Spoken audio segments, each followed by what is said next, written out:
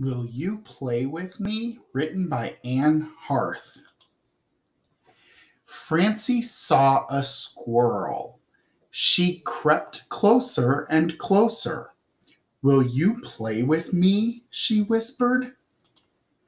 The squirrel scrambled up a tree. Francie saw a frog. She crept closer and closer.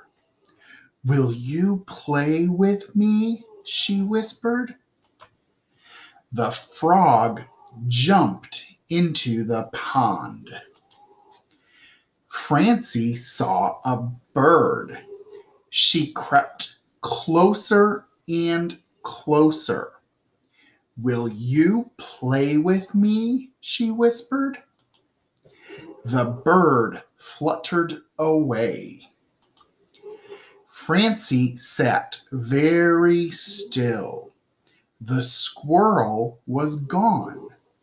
The frog was gone. And the bird was gone. Francie heard a noise. Someone was creeping closer and closer. She turned around. It was a boy. Will you play with me? he whispered. Yes, Francie said. I hope you enjoyed your story, Jade. This is probably the last one I'm going to be able to record for you. I'm really sorry we didn't get a chance to keep working together throughout the year, but I hope you are doing well and I hope you are going to have a good summer and I hope you have a fantastic second grade. Take care. Bye, Jade.